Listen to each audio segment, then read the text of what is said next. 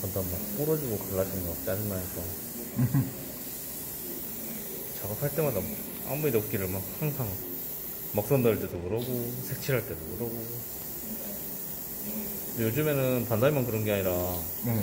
글로스 인젝션을 사출하는 하세가와 키트도 지금 아, 그런 그래요? 현상, 예. 오. 계속 색칠할 때 보면은 색칠하고서 먹선 넣다가 막 갈라질 때가 있거든요. 짜자작 끼 어, 정말 허망해요. 당하고 나면. 내가 비싸게 주서 산게 이게 맞나? 그러니까, 그러니까 걔네는 아예 색칠하지 말라고 그렇게 내준 것 같으니까. 어, 그 반다이카 스타워즈 시리즈 그 뭐야, 저기 스톰트루퍼 이런 애들 네. 표면 반질반질 하잖아요. 네. 그리고 서페질 다 해서 칠해봤는데 다 까져요 그냥. 어? 서페까지 다 올렸는데 이거 와.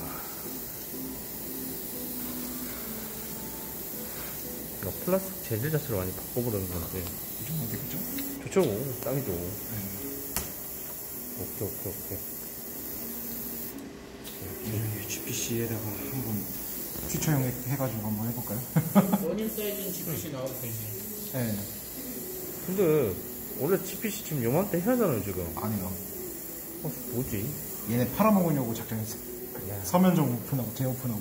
이것들이 뭐 열심히 관자 페이스 그거 뭐지? 돈 뽑아내야죠 뭐. 그 프로모션만 하고. 네. 그러니까 한정판만. 네.